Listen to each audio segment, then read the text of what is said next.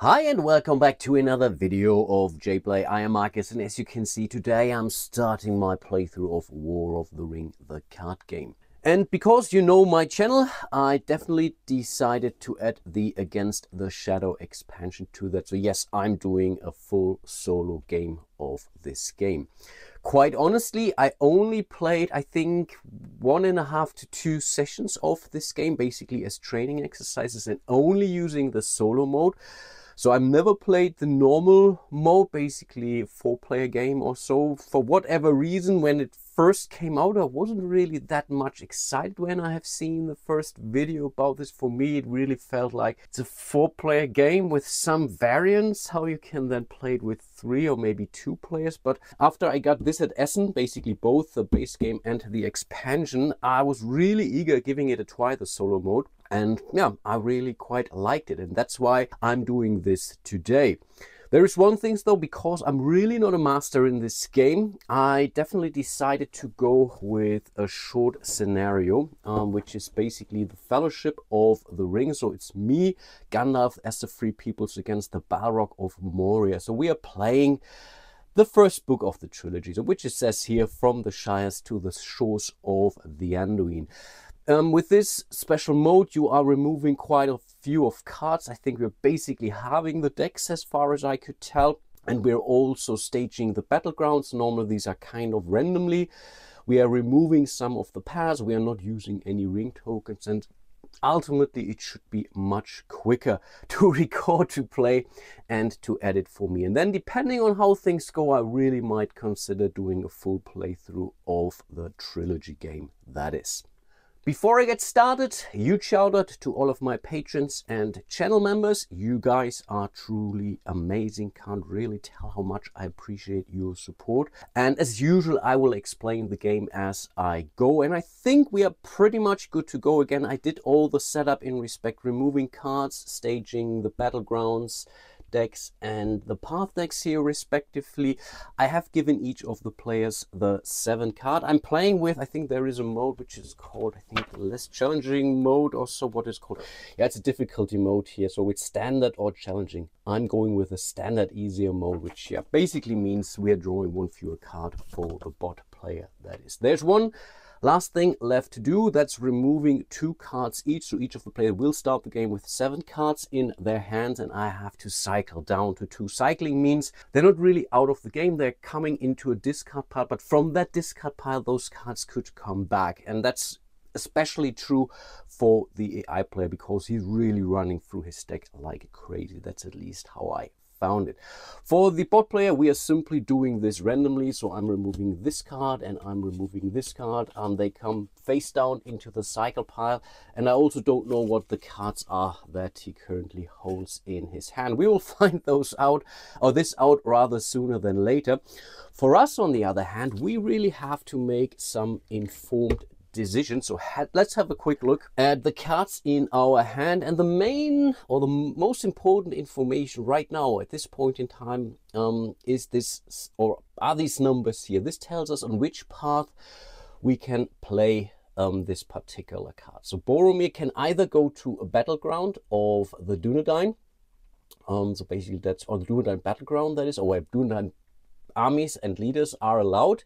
So this could come up rather sooner, or we can send him to a path 3 to 6. We will start with path 1, then we will do path 2, and in this scenario, um, we will end the game after we have resolved path 6. That is, then the game basically ends at the end of that round, and we tally up our score. And whoever, which side has the most amount of victory points will win, and I think in ties, it's always the shadow player. So um, with that information, we have to cycle down. I'm relatively certain I will cycle Vilya Ring of the Air um, because it's an item that belongs to Elrond. Right now, we don't have Elrond in our hands, so I think that's right now maybe the least useful card. So we are simply cycling this. It could come back, uh, depending a little bit on how much cards we draw and whatnot. And then we need another card. And right now I'm still tempted to cycle Boromir because yeah he could theoretically give us some fighting power when we are fighting a battleground um, where he is allowed and the first battleground will I think he will be allowed actually the problem is we don't have a Dunedain army which would support him so I think Mm, Boromir, okay, he also has this ability here. Yeah, we have to forsake a card, but we draw a card. No, I think Boromir has to go to the cycle pile. Again, he could come back, so don't mourn too soon, and the rest of these cards will go into our hands, and then we can basically start the game. In this scenario, the Balrog is the starting player. I think in all the other scenarios, the Free Peoples will go first. That's different here. And the first thing that we are doing is to activate a battleground. We know what this first battleground is because it's staged. Normally this is done randomly. And here we have Minas Morgul, which we have to play. Let's put it in the middle of the table. And it comes with an activation power here, which is quite a nasty one. So the Mordor player draws up to five cards. One one at a time, play the first Nazgul character drawn to reserve, that's important, and then stop, cycle the unplayed card. It's worth two victory points. It's a shadow battleground, which means if we are not actively taking this one over, it will score for the shadow player two points, but we have to come up with basically three swords, or at least one more. Then there will be shields at the end of this round when we are resolving this battleground here. And these icons down here tell us which armies and or characters we can send to the battleground. So in this case, you see it's Dunedain. So we could send Strider and Boromir as well to this battleground if we so desire. Let's do the activation here first. Before we activate the path or we will draw the top five cards. That's a cave troll. We are ignoring this. It's not out of the game. It's cycled. And i think yeah this is a Nazgul the commander. And as the battleground tells us we have to play it into the reserve. Um, it's a Nazgul and yeah it comes with a power and action in reserve use an action cycle this card and each shadow player draws one card yeah, why not? But for now, this Nazgul needs to go to the reserve. This cave troll is simply being cycled, going into the cycle pile. And then we have to activate one of the tier one paths here. So I will roll a four-sided die. One, two, three, four.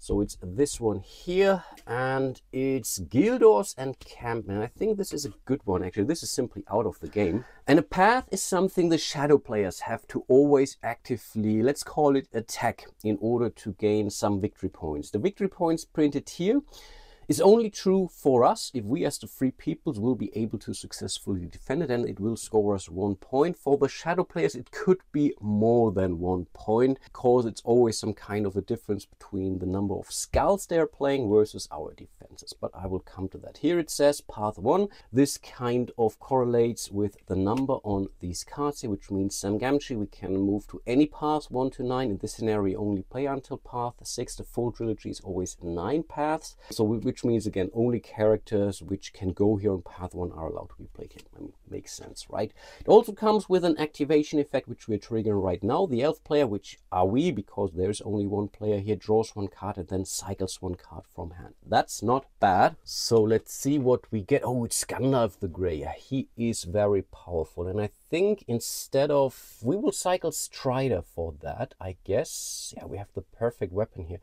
Yeah, Strider goes into the cycle pile and we will take Gandalf the Grey into our hand. Nice. And then we are basically good to start our actions. For the AI player, we have a handy dandy flowchart here. First of all, they would try to use an action, usefully resolve an action. Then he would try to pass, which is doesn't really happen too often. That's at least how I understand. I think there are only very few instances where the shadow player is actively passing before we do that.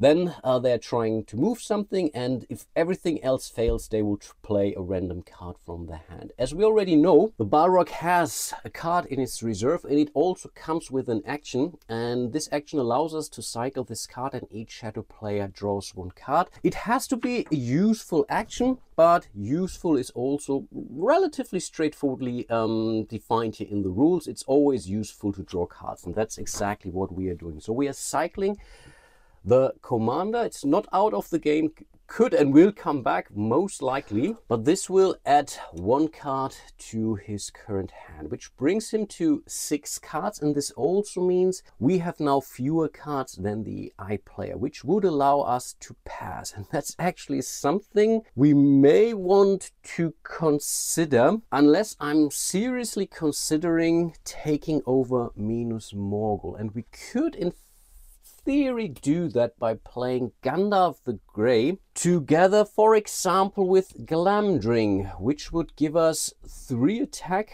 versus two defenses, which would be enough. But with six cards in his hand, I'm relatively certain, yeah, I think he will definitely try to defend that. And all the other cards we have, like Sam Gamgee and Frodo, we cannot send them to Battlegrounds because they don't have the icons up here. Only some characters can be sent to Battleground. Um, so it's not very likely that we will be able to win this battleground. And that would be quite a considerable price actually, because you always lose the attackers. No matter if you are successful or not, you have to forsake the cards that you have used for the attack. So I think because our hand only consists of five cards, we are allowed to pass because the number of cards in your hand is less than each opponent. We only have one opponent, we have five, they have six, we are allowed to pass. And we can also always pass if our hand size is equal to or less our carryover limit, which is usually two, but that's not happening. But it's an or one of these conditions does suffice. So I think in this case, let's pass. Back to the shadow player, back to the flowchart here, and I will not constantly show this to you. This is only true for the first two, three, four actions or so, just to give you an understanding. So we can't no longer use an action. We still cannot pass.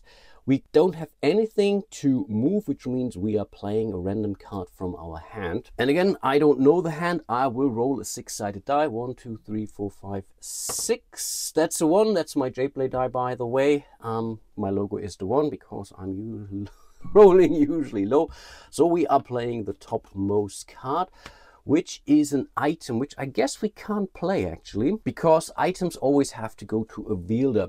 This card can only play to a wielder on a path. There aren't any wielders on a path which means it is unplayable. Eliminate this card so this is now really out of the game and then choose forsake one card to add one corruption or draw two cards and in this case choose means we as the player get to choose and who really need to think about this for a second because adding one corruption is an instant victory point basically. So that's not great. Drawing two cards could be also some victory points actually. And because on the other hand no i think then he will go strong very strong into the second round. So in this case it might be really short-sighted. I will go for the forsake one card to add one corruption option here Forsake or forsaking a card for the bot player is not as dramatic as it is for me because they usually always cycle a card. They would start to cycle the rightmost card from the reserve. There aren't any cards there. We would then cycle a random card from hand and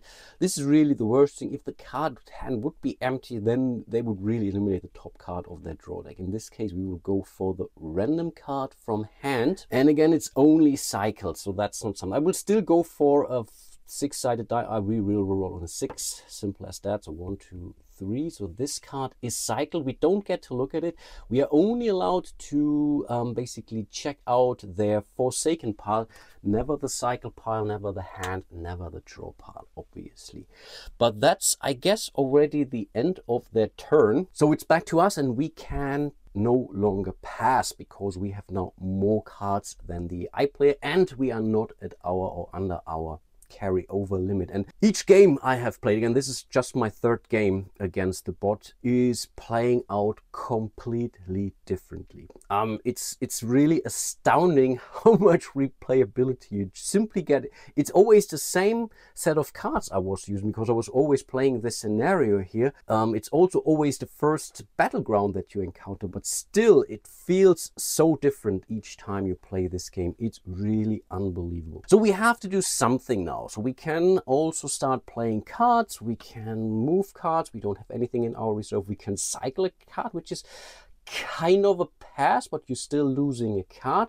We can, we know this is pretty bad, eliminating two cards from hand to draw one card. This only really makes sense if you have two completely useless cards in your hand and you have to do something, then you do that. We can use an action. No, that's not the case. And we are not using any ring token. So I think it's either cycling a card or playing a card. In this case, we really may want to play a card. And I'm tempted to play Sam Gamgee actually into the reserve yeah, let's do that. So the card goes into our reserve area. In order to pay for a card you pay, you have to discard another card from your hand. And I think in this case, I may want to cycle, not discard, cycle the elf eye because we don't have any elf cards, elven cards in our hand. It's really a cool item actually, but right now we don't need it. So we are cycling this and this was paying for this card. And Sam Gamgee allows us, when he is in the reserve, which he is right now, as an action to cycle this card along with any wielded items. So we can hold on to this and this would add one shield to the active path, making it stronger, which is something I really quite like actually. Nice. Okay, that wasn't terrible. Back to the bot player. Can't pass, can't move, can't uh, play an action, so we are playing a card uh, 1 to 4. And that's a 4, so we are playing the bottom card here. What is it? It's an event, Nazgul's Mantle. Choose, again, we get to choose. Take one random Nazgul from the eliminated pile. Um, we don't have one, so we can't go for this option here.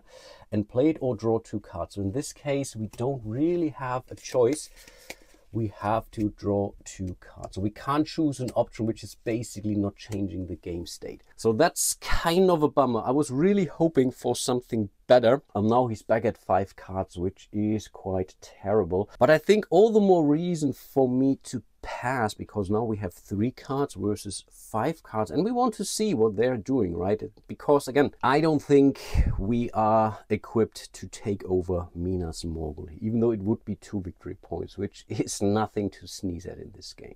So back to the bot, I will roll a six-sided die. They have to play a card. Um, that's one, so the topmost card is being played.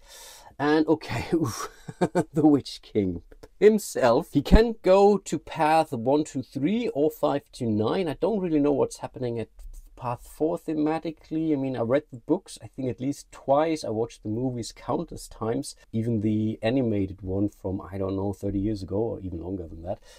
Um, but yeah, um, it's a Nazgul, obviously, um, and while in reserve, draw one additional card each draw check. But I think he's not playing this into the reserve because um, we are looking here. The Second priority, because it's not an item obviously, who says to play to a path if the shadow player could conceivably win but is currently losing. That's exactly what's happening here. So right now he's losing that path and with these two skull symbols he would conceivably win. He's not taking into the account that I have Sam Gamgee out in front of me. He's only really looking at his hand of cards, or not, the card that he played and the cards that he has in reserve. In this case he can conceivably win, which means two versus one. So he's immediately playing the Witch King here onto Gildor's encampment, which is kind of, hmm, let's say, a good thing because ultimately every attacker on a path will also be removed from the game, eliminated. So this is a very, very powerful card and losing this to only quote unquote one victory point could be quite alright actually.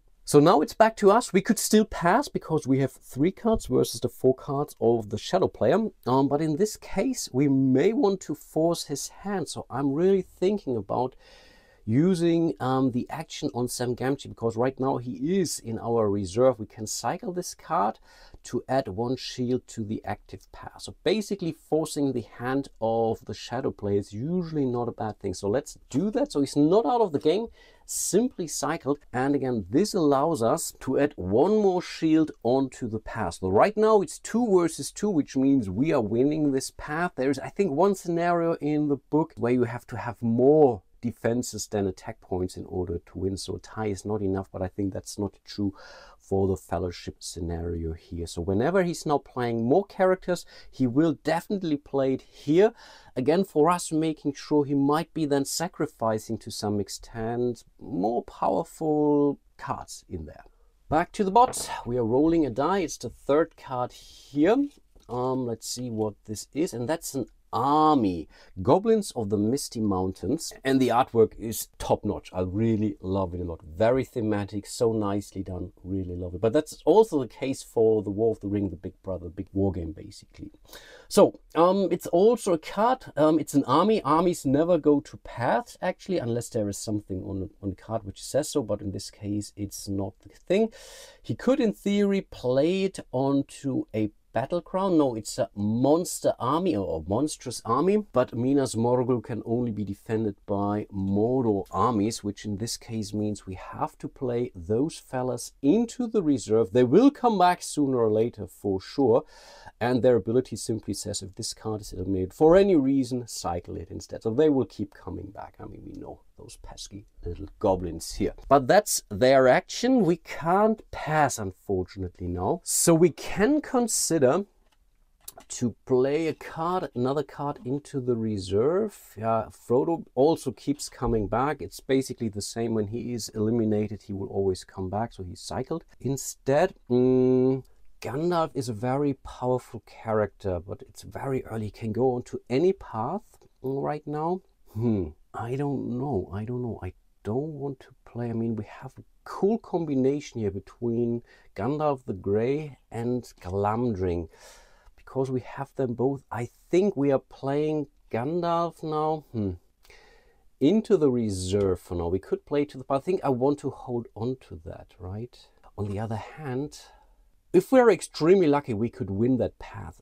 So let's do that. So we are playing Gandalf the Grey directly onto the path. In order to do so, we are cycling Frodo Baggins. I don't know if that's a good idea or not, but his ability test tells me when we are taking our action next, if he is on a path, you may use your action to activate a path of the next higher number, which means we are automatically resolving combat on this path because there can only ever be one active path. There can be, in theory, an unlimited amount of battlegrounds active, but that's not the case for a path. So if we are now somewhat extremely lucky, this could go our way actually, but usually yeah, you know how, yeah, well or bad I'm rolling, right? So let's roll for the AI play. I think in this case we're rolling a six-sider, so one, two, three, four, five, six, because again we are not doing anything with the goblins.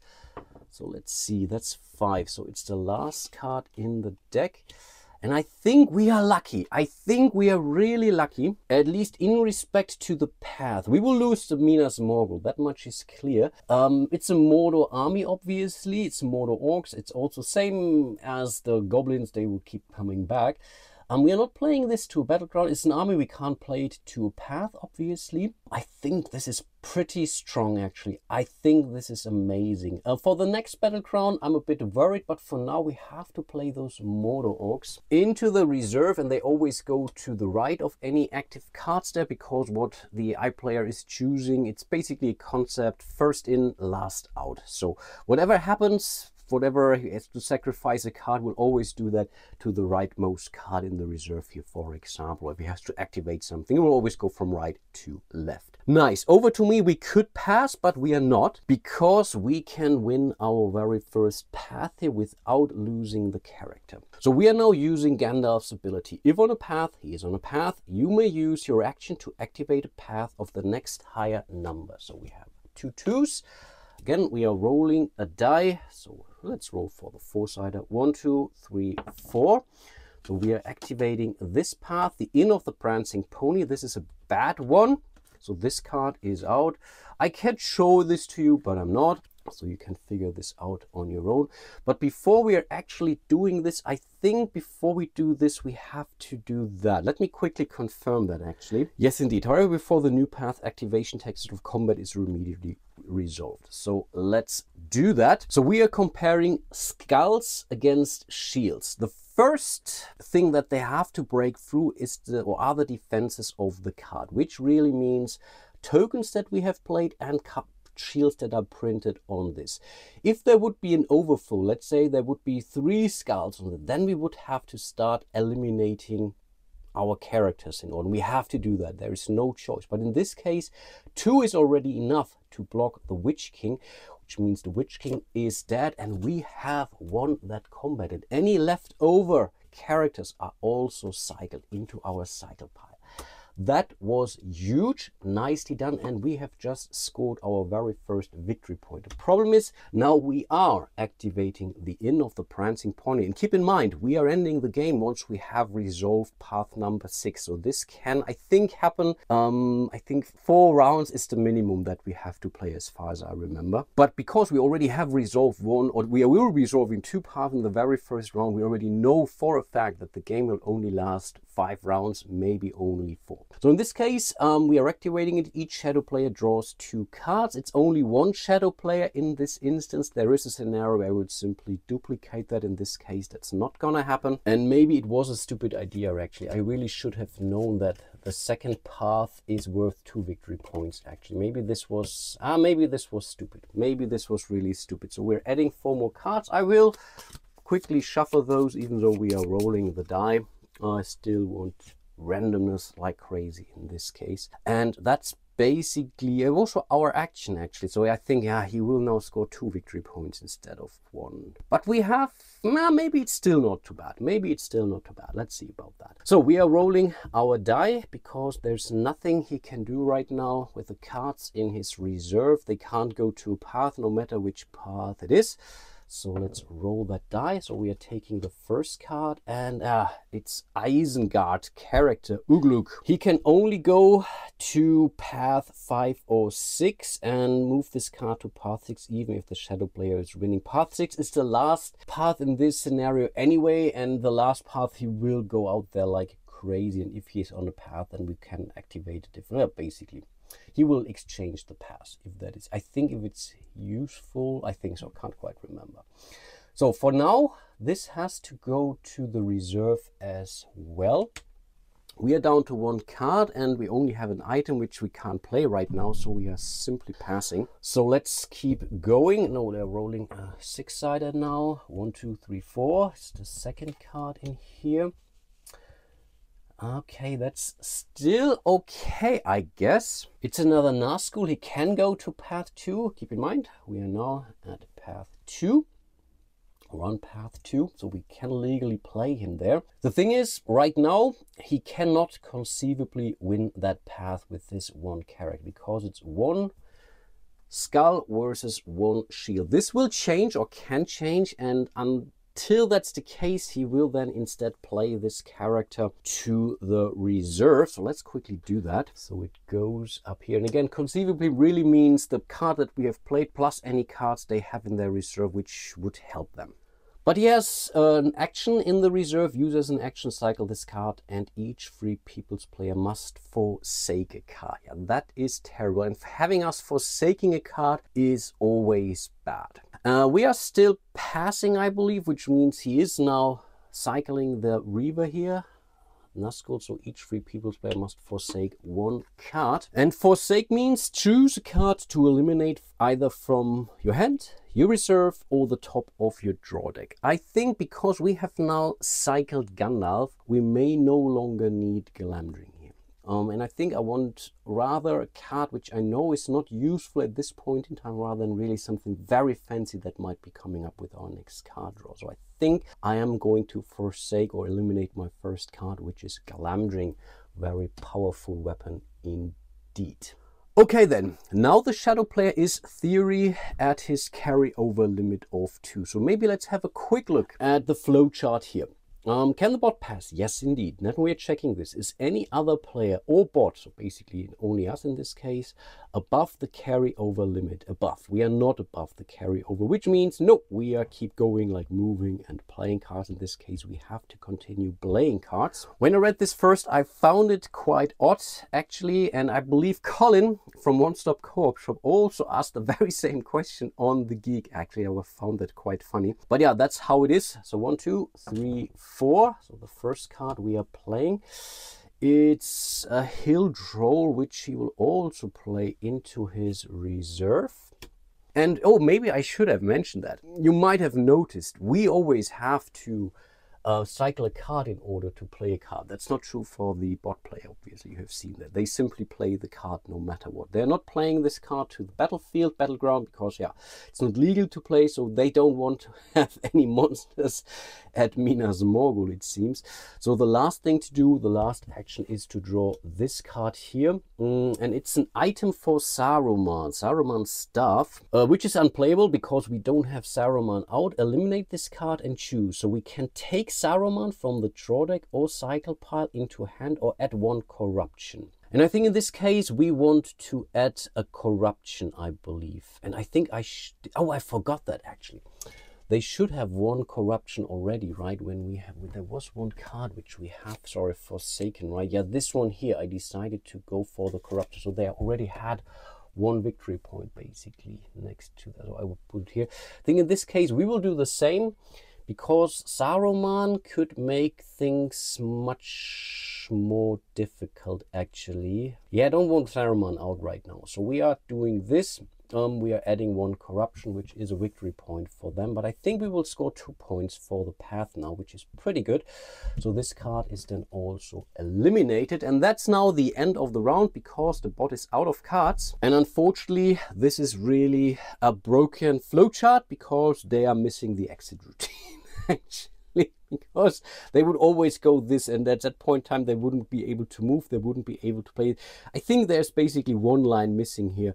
No more cards in hand pass. That's basically what they miss. I was really wondering if i should feed this into ChatGPT or something like that and see if they understand this flowchart actually. Would be quite funny. But yeah, we will end the round, which means we are resolving the battlegrounds and the paths. So we will start with the battleground here, Minas Morgul. We haven't even tried to attempt to take it over, which means uh, they will simply win that. That's two victory points for them. So they're at four already, plus the uh, two plus the two corruption they have.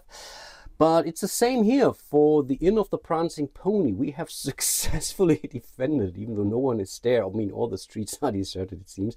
But we will collect the two victory points here. So we are at three. They are at four, which isn't terrible, quite honestly. And then uh, basically the last thing that we do, or one of the last things, we are moving the starting player marker over to us and then each of the sides will now draw two uh, three cards. Again we are playing on the let's call it easy mode which means the shadow player will also only quote unquote three cards. Normally in normal multiplayer game or if you would be playing on the challenging mode they would be drawing four cards.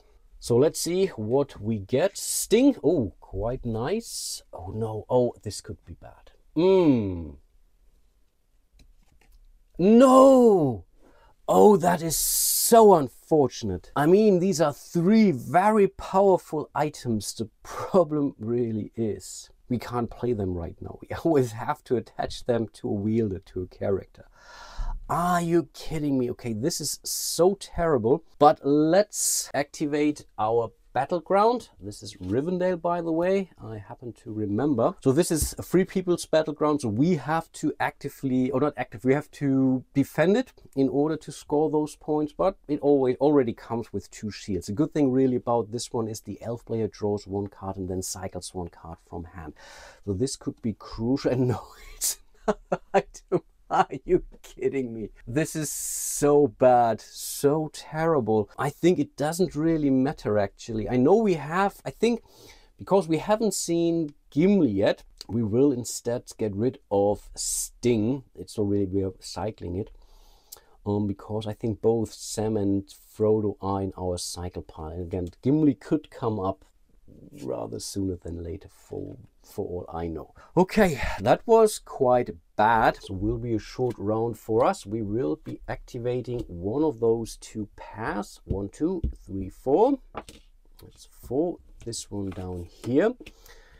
Imladris. Okay, that's that was so important. The elf player draws two cards. Oh, come on. No items anymore. We want characters and armies. Come on. Fingers crossed. And it's Gimli. Woohoo! Okay, that is quite powerful. He can go to the path even.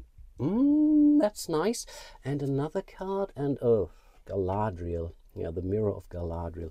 So we will definitely use one of those to bring Gimli into the game. Okay, that is quite nice actually. Cool stuff. And then we would be starting the next round of the game. But I think for today, I will end my playthrough. Of course, now I have to assess the cards that we have out here because I know he will try to take over Rivendell and or maybe the path um, yeah, at least the hill troll can go to Rivendell. And yeah, the goblins can also go there together, even though he would not be able to defeat Rivendell because they only have two attack icons here. So right now he cannot conceivably win. The problem is, yeah, we can't send Gimli to defend Rivendell. I mean, makes perfect sense thematically, right? Hmm. But yeah, let's see about that. But yeah, for today, I will end my playthrough mainly for you, giving me giving you some room to find and spot and make me aware of any goofs I may have made. So let me know if I did something terribly wrong, but I think I got it figured out at least, I hope. Also let me know what you think I should be doing next. Really looking forward to any advice from you guys. I hope you're enjoying my little playthrough of War of the Ring, the card game here with the, I keep forgetting, Against the Shadow expansion which really adds a lot to the game. And yeah, it's a fun exercise, a fun experience, exercise, fun experience to play. I really enjoy this a big deal. It's a very nice puzzler. It feels very thematic. Artwork is lovely, absolutely gorgeous. So yeah, let me know what you think. And yeah, with that being said, hope to see you soon in one of my other videos. And until then, bye bye.